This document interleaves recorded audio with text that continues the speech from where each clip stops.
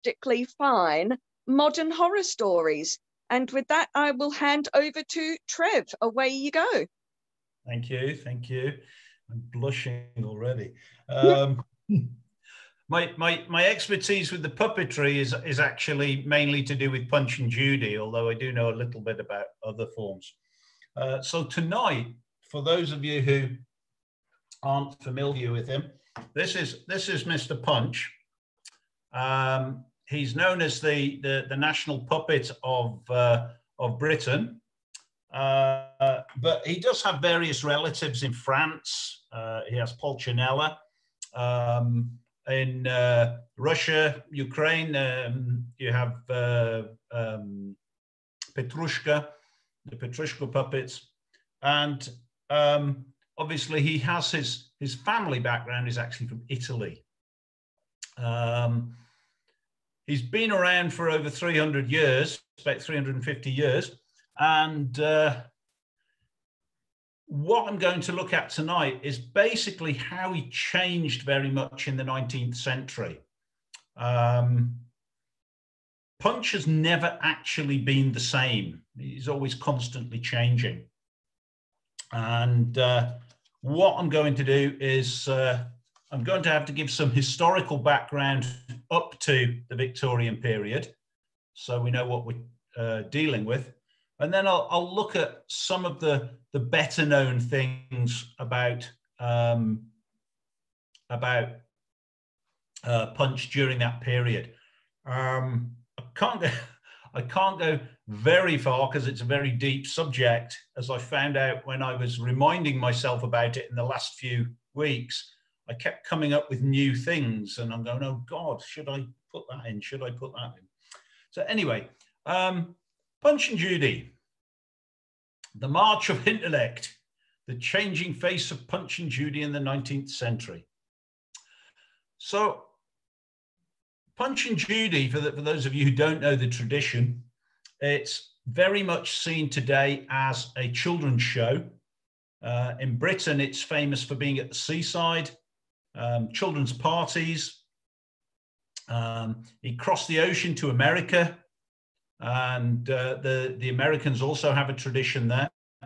Um, one or two things that I'll be mentioning aren't very politically correct, and this is something we find in um, today's society quite often. People kind of get offended at Punch and Judy. Mind you, people get offended at everything. Um, so we'll look at some things. We'll look at some things there. I might make some references to current practices or, or practices outside the Victorian period uh, to make a comparison. Um, obviously, not everybody knows about uh, the tradition, but um, we'll see how it works. Okay, so now how do I do this? Punch's origins. Um, Punch was first recorded in 1662. To be specific, the 9th of May, 1662, uh, by Samuel Pepys in the Covent Garden area. And he recorded in his diary that he was going to see, or he had seen, a an Italian puppet show that was very pretty. And we know this was by a puppeteer known as Signor Bologna. And the, the situation with Britain at the time, we'd just come out of the Republic when it was the, the Puritans and the, uh, the Cromwellian era, where theatre was largely banned. Funnily enough, puppetry wasn't banned specifically, but theatre was largely banned. And with the restoration, um, it became the growth industry. And a lot of traveling theatres, mainly from Italy, um, came over and they were doing very well.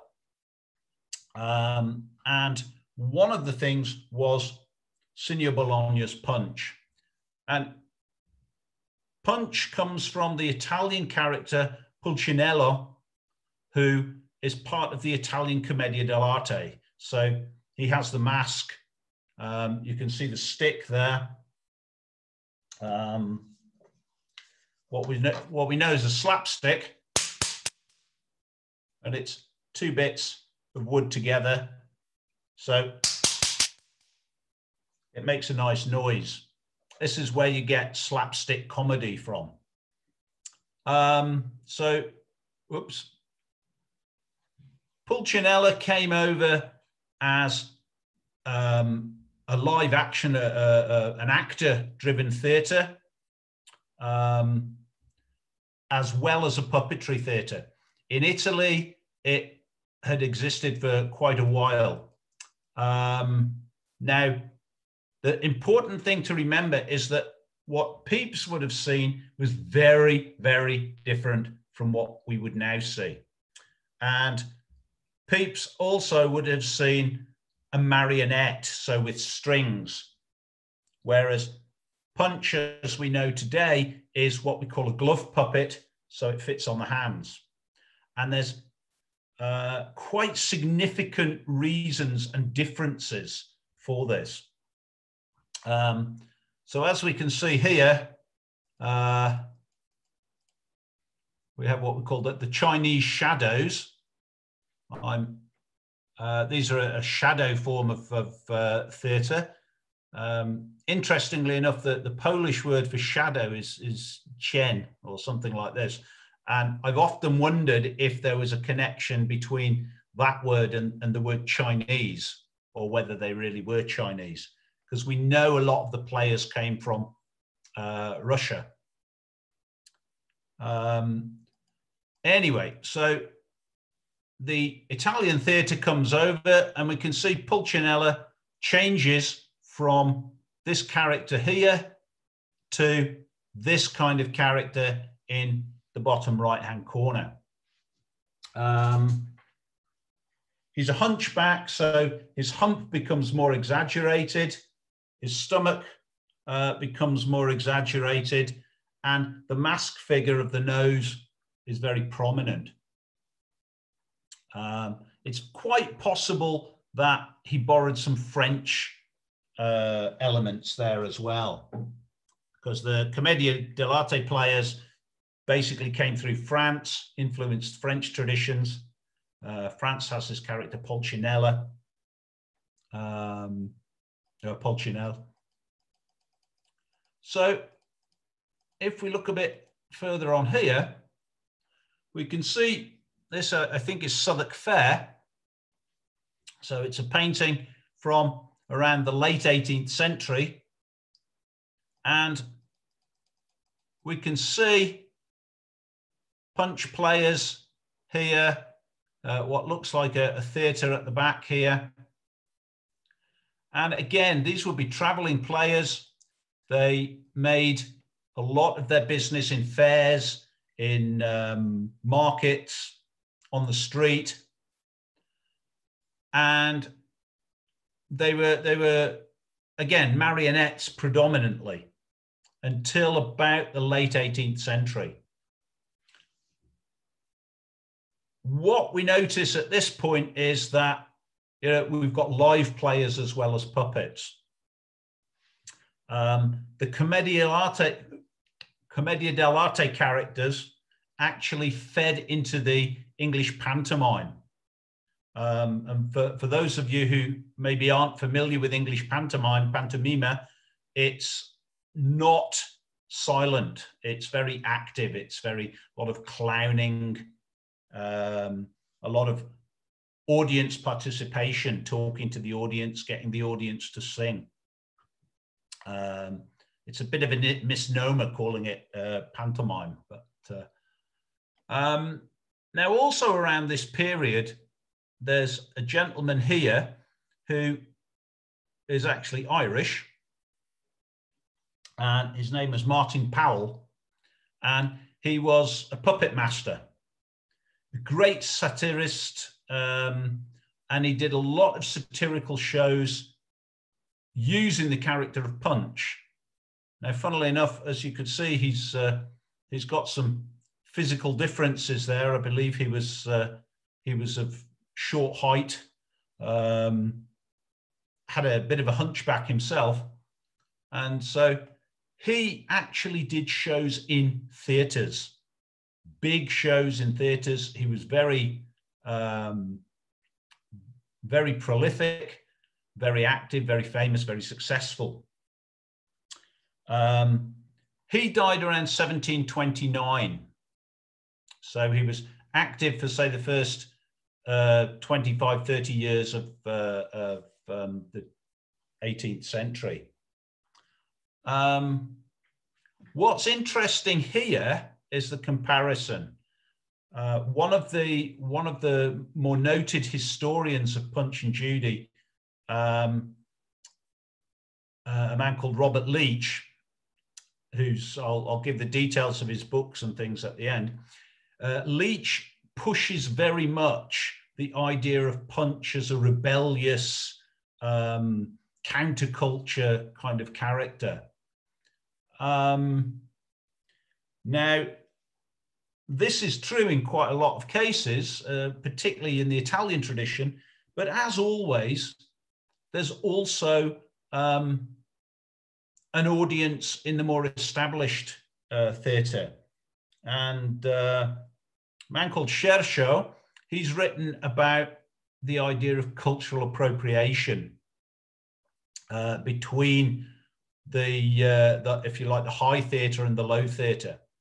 And one of the things he points out is that Martin Powell actually did shows for the government uh, to parody um, political uh, political uh, groups at the time or, or religious groups. Uh, in particular, there was a, a, group called the French Prophets, who were they were kind of one of the proto groups of the what became the Shakers, um, better known as an American uh, religious movement, and they were connected with the Quaker movement in England. They were getting a bit awkward for the government, so the government actually asked um, Powell to do a show parodying them. And uh, he did a show called Punch Turns Quaker, where Punch becomes a Quaker minister. And apparently it, uh, it really undermined the, um, the status of the French prophets in London at the time. So the reason I'm, I'm talking all this is so we've got this idea now that Punch is accepted on two levels. He's not strictly a street character. He's also known in the, the higher theatre as well um, as a puppet. Now, around the middle of the 18th century, getting into the late 18th century, um, Punch changes very much into a glove puppet and um, using a booth. So why is this significant? It's significant for several reasons. One, marionettes are, they, they need space. So the marionette theatres were designed to be set up quickly, but a marionette is one person working a marionette. So you need two or three players at least. Um, also, the marionette player has to be above the theatre. It has to be above the stage, and they have to be above the stage because the puppets hang down. And so obviously they need quite a lot of room. With a glove puppet, you can do two puppets at once. You can change the puppets very quickly, and the action is quicker. So, you know, marionettes can be quite quick, but they they can't cross the hands because the strings get tied up. With a, a, a glove puppet, as we can see, you know, I can move the hands around, I can throw things, I can catch things, I can move them around, that can, up, up, up, and so the action gets quicker, the style of playing gets quicker, and also you only need one person. So you keep all the money. Um, and it's a bit easier to transport. Um, around the, uh, let me just check my notes, just remind myself. Um, around 1750, uh, sorry, uh, 1779, a man called John Piccini, Giovanni Piccini, uh, also known as Porcini uh, to a lot of the English speakers, came over from Italy. And he came over with his brother and he was performing uh, Pulcinella punch shows. He arrived in it. He arrived in Britain um, 1779, and he died 1835. And he was performing for somewhere in the region of 30, 35 years, maybe more. Um, why is Puccini important? Uh, Puccini was the first punch glove theatre show to be recorded. His is the first script we have of a recorded kind of street punch. And there's some debate as to how much of it he developed in Britain, uh, how much punch was anglicised. Um, obviously, being in Britain that long, Puccini had actually managed to, to speak some English. Um, and he, uh, he, he introduced various characters, which we'll we'll see in a, a moment. Um, by the time he was recorded, he was recorded in around 1828, so he was quite old at that point. He was uh, he was uh, I think in his 80s. Um, he wasn't the big star anymore. He was a bit of an old man.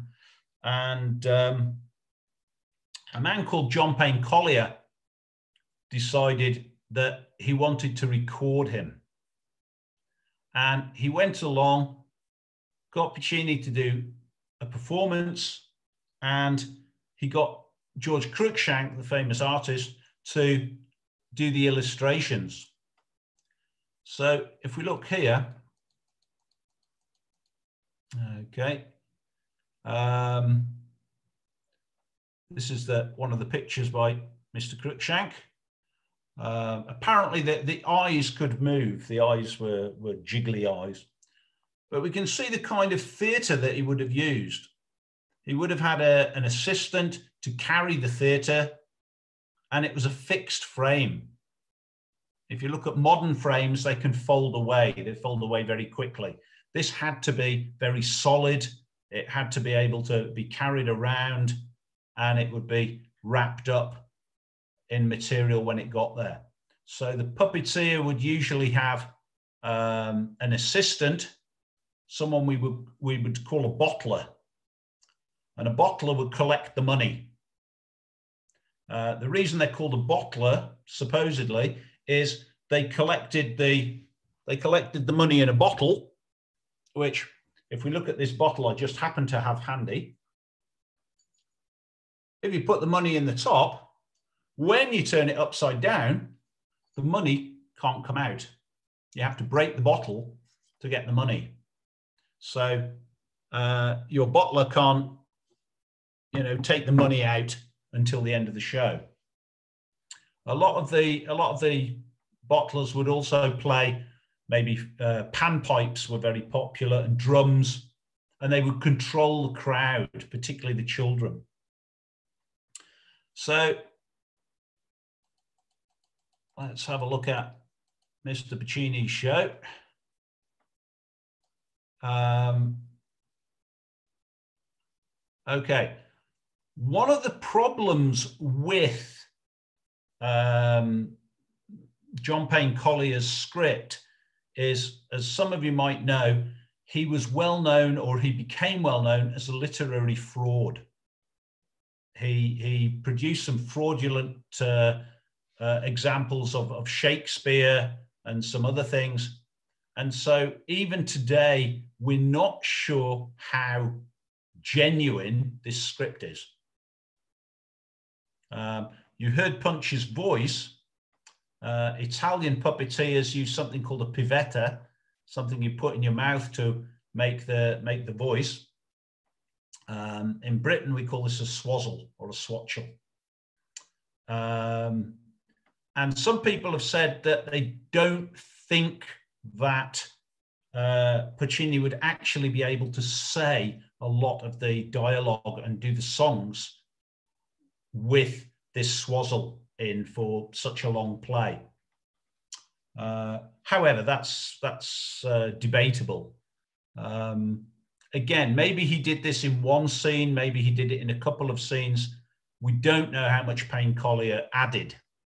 But what we do know is it's the first recorded example of a Punch and Judy show as a glove puppet. And it, uh, it has basically become the, the plan for almost every Punch and Judy show afterwards. They all follow the same idea. Um, Punch has a, an argument with his wife, and uh, he, he ends up disposing of the baby, killing the baby. Um, he and his wife have a fight. She ends up dead. And then he meets a range of different characters um, a doctor, a policeman, um, the hangman, the devil, the ghost. And they all basically end up the same way um, in some more inventive ways than others. Now, some of these, some of these are still with us today. There's been some new ones, and um, as we'll see, the show's all always changing. So if we look at the ones that are in Puccini's show, we have at the top top left here, we've got Punch, Judy, his wife Judy, and the baby. Um, in the older shows, we know that Judy was known as Joan, Joni. Some people have suggested that the name changed because it's easier to say with a swazzle. It's easier to say Judy than it is Joni. However, Mr. Shershow, who I mentioned earlier on, he points out that at the beginning of the 18th century, Judy was a kind of slang word for a woman who was living in unmarried situation. Um, and then I suppose in places like Liverpool, they use the word Judy for uh, for girls. I, I don't know if there's a, a kind of judgmental comment on that, but um, so it was definitely a slang word for a certain type of female. Um, Judy, as you can see, looks very much like Punch. Uh, She's not a shrinking violet. Violet. She's uh, uh, she actually beats him up first um, before he he turns the tables. Um, in the older shows, you know, they, they would have a lot of uh, banter, a lot of dialogue. Um, she leaves him with the baby, and he can't be bothered with this screaming baby, so he throws it out of the he throws it out of the theatre. In in some ones, he, he bashes its head out against the side of the uh, um, the stage. Obviously, these days it's not really the done thing. So people find other ways of uh, disposing of the baby. Um, I, I, have to be careful when I throw mine out of the theatre because uh, I'm always worried the kids will never bring it back. Um, Punch then, you know, being a man, as soon as he's got rid of his wife, he runs off to his girlfriend. Um, his girlfriend's known as Pretty Poll, and she comes from the Beggar's Opera. So we can see that the theatre was actually, the, the Punch and Judy tradition is borrowing things from other theatres. So Pretty Poll doesn't do much. Um, she, uh, she just flounces around. Um, she disappears from the later shows when public morality starts kicking in and uh, obviously you can't do a children's show with a with a sort of harlot you know strumpets um, if we move over the the way um, we'll see this character here um, i'm just moving him because i don't know if you guys can see it because of the uh, camera thing um, This is just a man whose neck grows. There's a the, the puppet has a has a particular mechanism and he just sort of stands there and his neck grows up. And this is one of the things you find in the Punch and Judy show. There's there's just characters who are there um, just to make just to add a bit of variety. Um, at one point, Punch meets a blind man, and the blind man coughs in his face, so he gets dispatched as well. Um, Punch has a horse. He goes for a ride on his horse, uh, Hector the horse, and then later he he meets a doctor, and the doctor decides to give him very physical medicine by beating him. So of course he does the same thing to the doctor. Um, it's interesting, uh, as we'll see later when we talk about uh, Henry Mayhew's interview with the Punch and Judy man. He specifically comments that Pretty Poll and the Blind Man are, are out of date within 20 years of Puccini's play um, when this happens.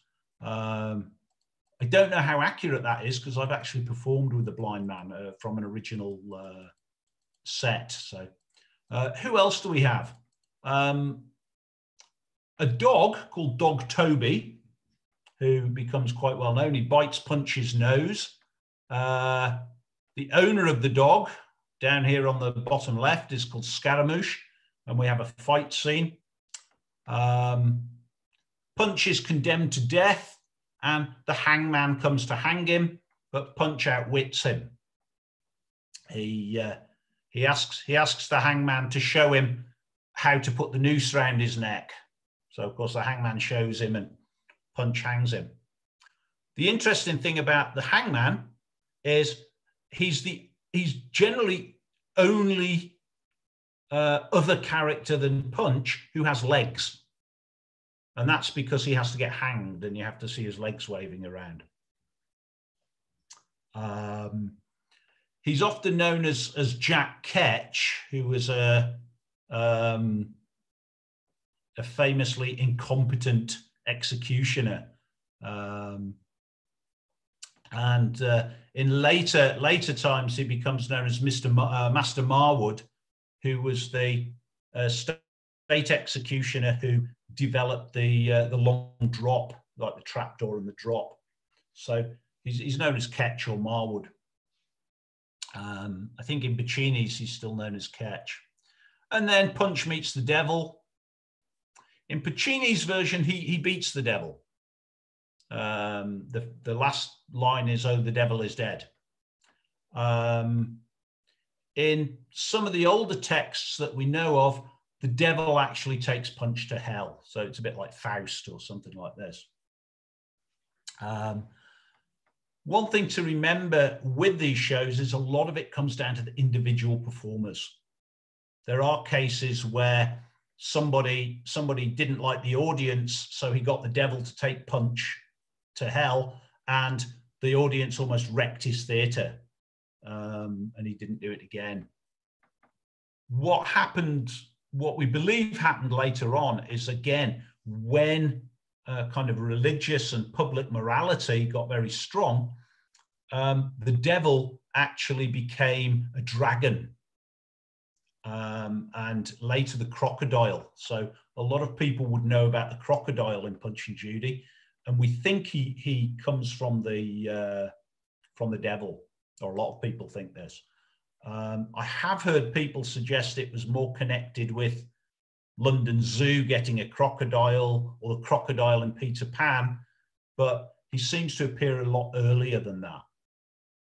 Um, the bottom right, we have, uh, this is one of the more controversial characters. This is a black character known as the foreign servant. And he comes outside because Punch is making a noise and he starts sort of trying to get Punch to go away and hitting him. And of course, he ends up the same way. Uh, he talks in a, a stereotypical uh, foreign accent. Um, using D's instead of the. So, oh, this is the this is the day. Uh, this is the day, Mr. Punch. I do I do like the white man. Um, so the black character is established there. Again, we don't know we don't know um, so much about the older shows. There was a, a man in London, in uh, England, a, a, year or two ago, and he was interviewed about having a, a black character based on a blackface minstrel. And he was on live TV, and somebody somebody made a comment about getting rid of it, and he said, "Oh, this character has been in the show since 1662." Rubbish. We don't know that. We um, and certainly if there was a black character in 1662, it wasn't a minstrel in that sort of way. Um, so as you can imagine, particularly these days, it's a very controversial uh, character still. Um, so this was the first published show. Of course, people want to see the shows. And in the uh, Piccini, Piccini died, as I say, in the workhouse, 1835. Um, he went in the workhouse in about 1831, died 1835. Been very old in his late 80s or maybe even 90s. Uh, his apprentice was a man called Tom Pike. And um, Tom Pike is credited with bringing the first live dog to play Dog Toby, which we'll look at in a little while. Um, but we fast forward to the 1840s, and Henry Mayhew, in his uh, London Poor, his uh, famous volume of interviews with uh, uh working people and poor people in London, in the 1840s, this one. Um, he interviews this punch man. It's the longest interview of the street performers. And it's probably where we get a, most of our information about Victorian punches. Um, we don't know the man's name, sadly, but he claims he bought his puppets from Piccini. He said when he went to see him, uh, he was, you know, he was too old. The puppets were just in a corner and he bought them. By the time he'd been interviewed, he'd been playing for around 25 years, so he said. So he would have um, he would have probably probably started just after just after Piccini stopped playing. Um, he was recruited by a friend, and um, he was first the assistant and then after a while, his friend trained him up and he started working, uh, working the streets with the punch. He tells us there were eight players at this time and they all knew each other. And quite often they, they swapped pitches or they, they swapped, um, swapped equipment, they swapped musicians. And he makes it very clear in this that um, he has different markets. He has the street market, he has the fairs. Sometimes the, the, the gentry invite a group of artists to their house or outside the house, maybe for a garden party. And he would go there with uh, you know some acrobats or some other musicians, some other puppet players, and um, he famously makes a comment that the show is changing. He talks about Piccini's show and he said the blind man, Pretty Polly, and a character called Merry Andrew, who was a, a kind of stock fool. Uh, Piccini doesn't include him, but obviously other punch players did. And he says these characters are, are gone, they're done with. And he then talks about things like ghosts, um, other characters that uh, um, are in his show. And he's very eloquent. It's, if you haven't read it, it's a wonderful interview. He's very, very amusing guy. Um, as I say, sadly, we don't know his name. And he then talks about the fact that he has two audiences. He has the street audience who he can be very, um, very rowdy with. He can uh, he can do a lot of different jokes. And then he says there are very gentle folk, as he calls them, sentimental. And he says these people who want the sentimental show are very sentimental themselves. They won't have no devil, no coffin, um, no ghost, and they they they want it kind of without these things. And it, this is where he says it's spoiling the performance, sir. It's the march of intellect, and that's this is where I get the title from. So he he talks about this fact that the audience is changing, and uh, um, scholars like Shershow have, have actually suggested this is where the um, the middle classes, the upper classes are borrow, you know, they're appropriating this kind of working class tradition and they're cleaning it up, they're uh, sanitizing it. Um,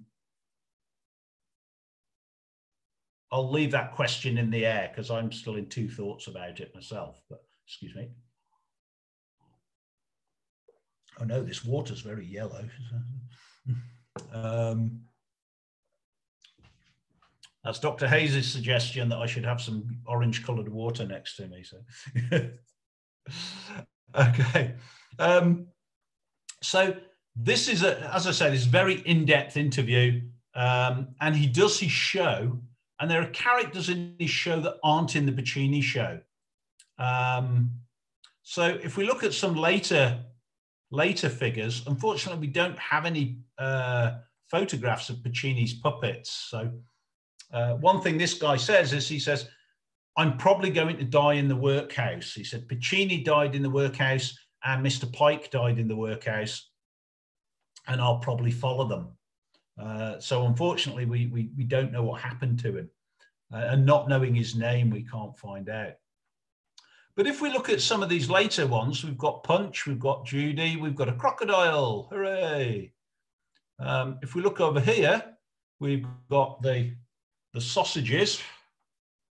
These always get a laugh in Poland because we don't have these kind of sausages really. So um, uh, we've got the stick. Now, interestingly, that stick doesn't look like a slapstick. Um, I suspect more modern performers brought the slapstick in to greater use. Uh, some of the books about how to do Punch and Judy from the early 20th century, they just have a solid stick. Um, and we can see there, there's a ghost's head, there's a devil, there's a dragon, um, the clown. It, it, could either be a clown or it could be Judy, I'm not quite sure. Um, and we've got the, the front there, and we've got the coffin up on the on the left there. This is the coffin that the, the hangman ends up in. Uh, I've seen an Italian show where he doesn't fit in the coffin, so they break his legs. So, uh, yeah, great, gruesome. Um, if we look at this other one, this other set here, we've got Judy and the baby. We've got the beadle. So the constable who comes to arrest Mr. Punch Today, we would think of a policeman with the, the, the, the tall helmets. These came in later, probably when the, these helmets came in, because they would be a novelty. People would enjoy seeing it. Uh, here, we've got someone who looks more like a beadle with his rod of office. Obviously, these days, everyone calls him Mr. Bumble because of the, the Dickens connection. Uh, we've got a puppet dog, Toby. And then we've got the black gentleman at the back, who I think is uh, I think is based on a minstrel. And we've got the clown here. The clown is known as Joey, after Joseph Grimaldi, who was this 18th century clown. Um, tradition runs that he's the only character who never gets hit, but I have seen at least one script where he does. But amongst players, at least today, there's a tradition that Joey never gets hit. He's too quick and too clever. And of course, there's the sausages, uh, which the crocodile usually eats, as you can see there. Um, so as you can see here, this one's actually an American figure. Um, the character changes by the time of Mayhew's character.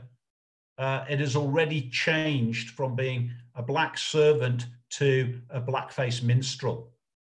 Um, uh, Thomas Rice, the American performer, he brought over the Jim Crow character, um, had a song and dance about uh, Jump Jim Crow. And if you read Mayhew, you find out there's several Ethiopian bands, as they call it, people doing blackface uh, performances. And uh, in Britain, we still had it on the TV till the 1980s. So, you know, um, it was quite popular. Um, we can see here in the in the other picture, we've got a, a gentleman with a beard. He's probably a character called Shalabala. And Shalabala was another um, Oriental, if you like, ethnic character. And all he can say is Shalabala. So Punch says, Good morning. He goes, Shalabala. What's your name? Shalabala. And this is all he can say. And then Punch says something about, Why don't you say something else? He says, I can only say Shalabala. And at, at that point, he gets dispatched.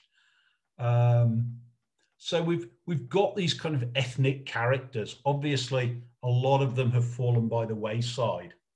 Um, a lot of modern performers um, still have the black character. Some of them do do him as a minstrel. Some of them have integrated him, maybe making the character of the doctor uh, a black character, or a policeman could be black, or it could be a, a health and safety officer. So um, we, we kind of like to keep him in, partly for historic reasons, but also in a way, it's actually reflecting the society. You know, if we have a black policeman or a, um, uh, something like this, the minstrel really is going out of fashion, particularly after a few years ago, and with the current situation. Um, so when Mayhew's man talks about him, he uh, he actually talks about um, he uses the N word and he says uh, he sings and he's saying things like every every day. Uh, I be here every day, Mr. Punch. And he says, because that's how that's how they speak, he says. So you can see that again, we're taking this thing from the theatres. Um, now, this picture here it's by a painter called Robert Haydon in 1829, and it's called Mayday or Punch. And unfortunately, you probably won't see it if I get it up, but here, um, you can find this online probably.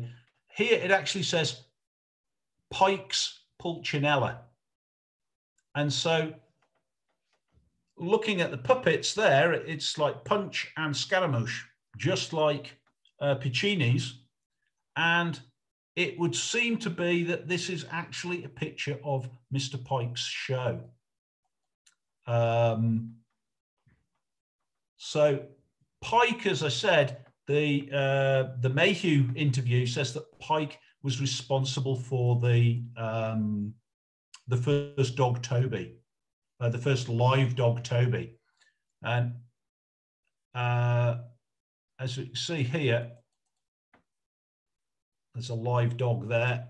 Uh, again, you, you, might find this, you probably find this very hard to read, but if we look down here, we can see Punch and Toby. And Toby actually becomes a bigger star. You know, we don't need the woman, we can have a dog. You know, it's, it's a bit, bit more fun having a dog. Um, I, I, I used to have a, a, a puppet Toby, but within the 20th century, the laws about performing animals, less and less people used live Tobys. Uh, by about the 1950s, I think they were gone. Um, interestingly enough, Mayhew's man mentions this. He says that the show is called Punch and Toby by some people. Now, this is about 15, 20 years after the interview. This is about the 1860s, this picture.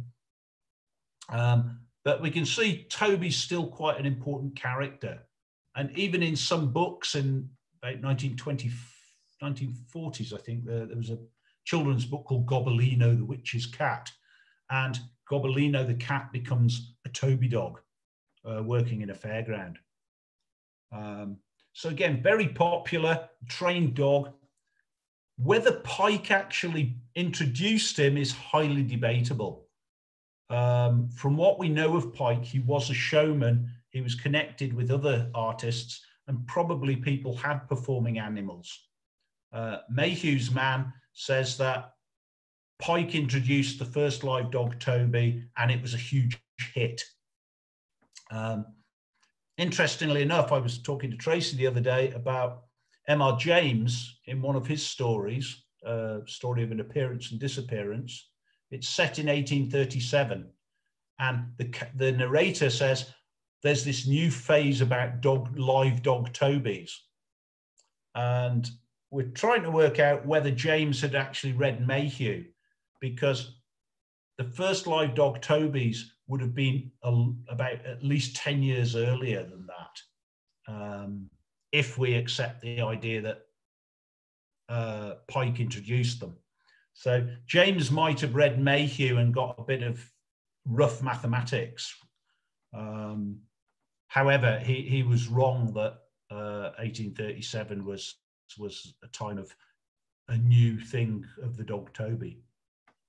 Um, if we look at the picture, we can see it's a street performance. Um, you'll see quite a lot of adults. Punch was very much geared towards adults rather than uh, children. And, you know, things like children's literature hadn't really become a thing. Um, as we said before, they, uh, they would play, they would play in different places. Um, if there were markets and fairs, they would travel out, play in the villages all the way to the big fair, um, and then play back again. Having to repair their own uh, their own figures. So this one's called On the Road to Derby, 1870. The other one is 1890, and we're still using the same the same thing. Okay. Um, Charles Dickens. Charles Dickens loved Punch and Judy. Hello, I've got something in Polish there. Um, in 1849, uh, a lady called Mary Tyler wrote to him asking Mr. Dickens for his help in ridding the streets of this terrible Punch and Judy, which was such a bad influence on people. And Dickens replies, to Mary Tyler, November 1849, says, In my opinion, street punch is one of those extravagant reliefs from the realities of life, which would lose its hold on people if it were made moral and instructive. I regard it as quite harmless in its influence and as an outrageous joke, which no one in existence would think of regarding as an incentive to any kind of action or as a model of any kind of conduct. It's possible, I think, that one secret source of pleasure, very generally derived from this performance, is the satisfaction the spectator feels in circumstances that the likenesses of men and women can be so knocked about without pain and suffering. And a lot of the modern punch players now still use that as, a, as an example of, you know, if people complain about political correctness, um, we say, well, people complained to Charles Dickens, and look what he said. Um, Punch and Judy appears in the old curiosity shop, and we've got a picture here of Codlin and Short, the Punch and Judy players, uh, repairing their things in a graveyard. Um, the Mayhew's character, Mayhew's interviewee, actually says that he he um, he thinks he was the model for it. He says that he was uh, he and his friend were repairing their stuff when the artist saw them, so he claims credit for that as well. Um, being being a good showman, like he's he knows all the right people and uh, whether it's true or not. Um, However, some people have said actually the character of Quilp is probably based on Punch. He's got the same characteristics. He's got hunchback. He's got big nose, a bad temper. And so, you know, a lot of people think this is the case. Um, some people have said that Codlin and Short um, are based on one of the oldest, probably the oldest Punch and Judy players in Britain, uh, the Codman family. But um, it's not really the case. Uh, you, you'll you'll see people come up with this, but this was written in 18, 1841 or published in 1841, and the Codman family didn't start performing Punch and Judy till 1860. So, uh, well, M.R. James uses similar names for his characters in uh, Story of an Appearance and Disappearance. So the Codman family are they're what we would know as the Swatchel Omi, the, the Swatchel men. And they they, were based in two places, Llandudno, which is a, a seaside town uh, in Wales, in North Wales, and Liverpool. And the story goes that Richard Codman, he was a traveling performer. He was, he was descended from Hungarian gypsies and he was born 1831. And in 1860, he found himself in Llandudno. His horse had died. His caravan couldn't get anywhere. So he got some driftwood and carved some puppets and started performing Punch and Judy. Um, he wanted to perform on the seafront, but Lord Mostyn, who owns all this area, wouldn't allow him permission. So he started performing to miners there's some mines near the town. And he started performing to the miners at the beginning and end of the shifts. So again, we can see that the Punch and Judy show is actually geared towards adults at this time. Um, so Richard Codman uh, started doing this 1860. During the winter, obviously the seaside isn't the best place to go. So he went up to Liverpool he started playing at the uh, Lime Street station. If you go to Lime Street now, there's a kind of statue of a Punch and Judy player. And there, there used to be a pub called the Punch and Judy. It was a bit of a dive, actually. I think it got blown up or set fire to a couple of years ago. Um, but for years, the Codman family played Llandudno and another branch of the Codman family played Liverpool. So these top ones are Richard Codman in Llandudno and uh, possibly his son, Richard Jr., playing in Liverpool. And uh, the bottom two are again Llandudno. And the one in the middle is the current theatre. It's something like the fifth generation. Uh, chap called Jason Jason Milban Codman. He plays it. Uh, he tells me that a lot of the puppets are still the original ones. And the, the frame there is, as you, as you might see, it's the same as the one down here.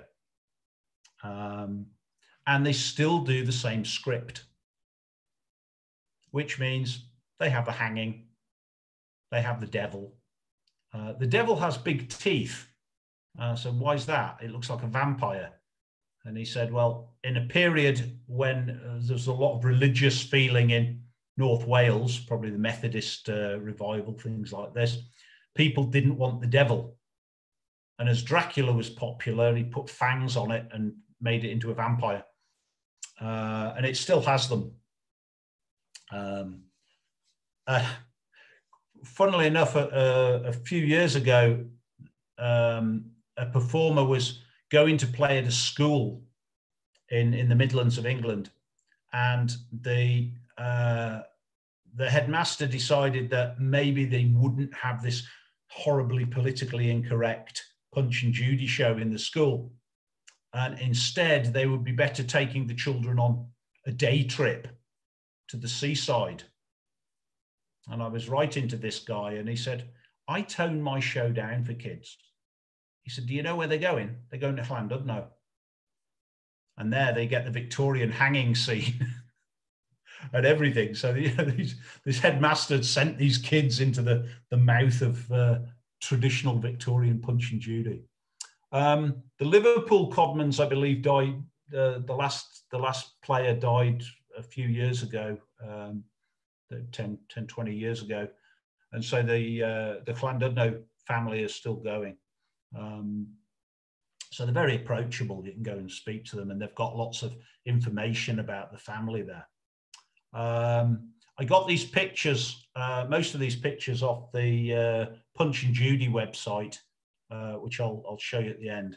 Um, what happens? Punch gets very popular. It becomes very mainstream. You get um, ceramics down here. Lovely. I, I love this. I love these teapots. I believe you can get new ones now.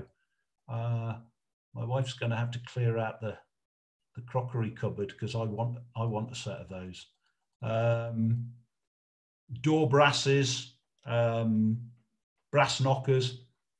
Funnily enough, I was in a I was in a uh, like a junk shop here in Poland a few few months ago, and I found a I found a, a brass a brass uh, poker for the fire, and my wife suddenly says, "That's Judy on the top, isn't it?" And I, I hadn't noticed. Um, so they're, they're quite popular. Now, children's entertainment, as we said, um, things begin to go towards children's entertainment. Uh, as we can see here, we've got a big show, 1884, huge show, all kids. Um, you get toys, wind up players, you get paper theatres with Punch and Judy on. Um, which interestingly enough, M.R. James said the first time he saw a, a, a, ghost was a character in a Punch and Judy show, probably a paper theatre. Um, so it was really, really mainstream.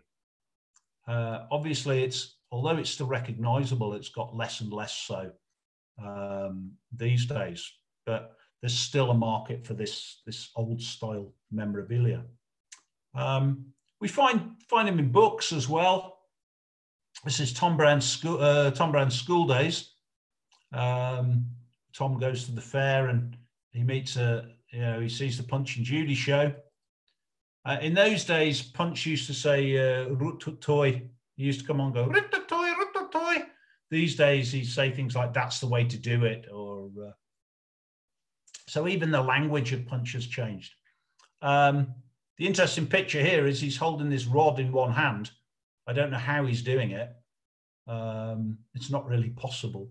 Uh, Lewis Carroll in Through the Looking Glass talks about Alice watching the knights and says they hold their sticks like Punch and Judy. And in the illustration, you can see that they, they hold the stick with the hands across the body. He doesn't explain that. He just says they hold them like Punch and Judy. So whoever was reading it would know what that looked like. And if we look at some of these old pictures, we can see that. Um, the other significance with the children's shows is Michael Byrom, who is one of the, the main historians of Punch. He commented that when you examine the 19th century plays, the 19th century scripts, towards the end of the 19th century, beginning of the 20th century, they get more and more geared towards children the dialogue changes, uh, some of the action changes. And then into the 20th century, audience participation becomes a bigger thing. Um, if you watch the Codman show, there's no, hardly any audience participation. Possibly an influence from the pantomime, but into the 20th century, audience participation becomes bigger and bigger. Um, and it's really only these older performers who who might still keep it the older traditions. Um, Mayhew's man talks about something called punchman slang. I had a, a, a friend of mine who's a theatre guy recently came very excited and said, "Have you heard of Polari?" And Polari was this this gay slang. It was a slang used by the, the gay community in Britain post World War II up until the 1970s. And um, I, I, said, yes, I do. He was very disappointed because, um, and Punch's man talks about showman slang called parlare. And it's very much, when you compare the two, you can see this, this gay parlare, it's descended from this punchman slang. And it's a mixture of things like Italian words, uh, Yiddish words. So the word swazzle uh, for the mouthpiece, this could become from svatsen, Yiddish word for chattering. Um, and rhyming slang, things like this. So if we have a look here, we've got bona parlare. So this is the punchman slang. You know, he speaks bona parlare. He speaks good slang. Uh, bonar is good. Um, Chaffling Homer, a talking man, could also be an informant to the police. Uh, Donna for a woman, Castello for a, a, a booth, um, and Shantabivari, a glass of beer. So you can see these Italian influences here. Um, again, this is off the Punch and Judy website. Uh, whoops. Yoita Bivari, no drink. A very important thing for a, a punch man, you know, to be able to say that. Bonabivari. Mm-hmm. Um, tabora for a drum, you know, like a tabor. And uh, it's, it's quite interesting looking at this and then comparing it with the, the 60s, the 60s Polari. Um, so that's uh, that's pretty much me. Uh, I hope that's been of enjoyment to you. Uh, the sources, Michael Byrom. uh, most of the histories are old. There, there are some more recent ones, but I haven't read, I haven't read the more recent ones. Um, Glyn Edwards, who's a practicing performer, uh, he writes about kind of the modern tradition and the connection. Some guy called Trevor Hill wrote a, an article for Polish journal called Acta Acta Nea Philologia. Um, and most of most of the information comes from these other sources. Uh, Wyndham Hollis, Punch's Progress, has a lot of sh little short articles with Punch performers. Robert Leach is, is one of the more recent um, things, 1985. I have some issues with it. I think he's a bit idealistic, but great pictures, great pictures. Um, Henry Mayhew, of course, Scott Cutler Shershow, who I've mentioned, um, George Speight is the main historian for puppetry in Britain. He is the uh, he's the late George Speight, but he um, he got this history of the English puppet theatre. He also did one on Punch and Judy, but it's basically part of that. And he he has some very interesting stuff in there.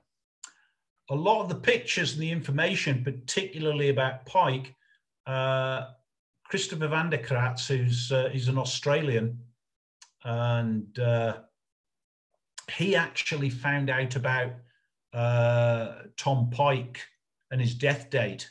He researched the um, he researched the uh, archives of the, the, the the workhouse and found out uh, about him. And and the Punch and Judy on the web, which is actually based in uh, Colwyn Bay near Llandudno um, they've got a lot of information on there. Van der Craats has got a lot of the historical things, a lot of detail. He's a researcher. Uh, the Punch and Judy on the web, um, a lot of pictures, a lot of diverse information. So if anybody's into finding out more, these are the places to look. There's also a book by a gentleman called Geoff Felix that I've just ordered off Amazon, 2016, uh, that's the year, not the price. Um, and uh, Geoff Felix actually found out the um, the death dates and things of Piccini. He, he's like the ultimate historian of punch. Um, so I hope that's been of use to everybody, and uh, I think we can